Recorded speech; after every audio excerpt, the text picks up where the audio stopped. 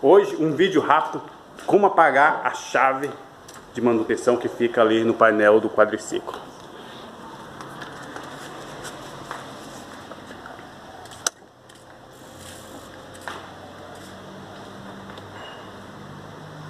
Olha lá, chave de manutenção. Para apagar basta, volta a chave.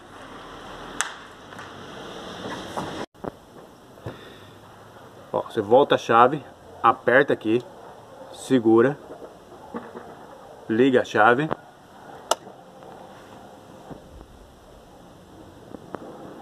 Pronto, apagou.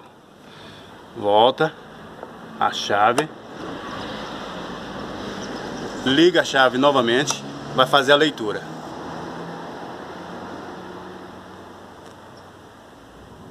E pronto, a chavinha de manutenção não está mais lá.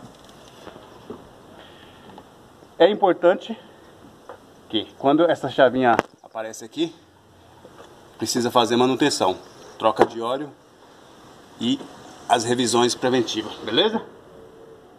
Pronto, resolvido o problema.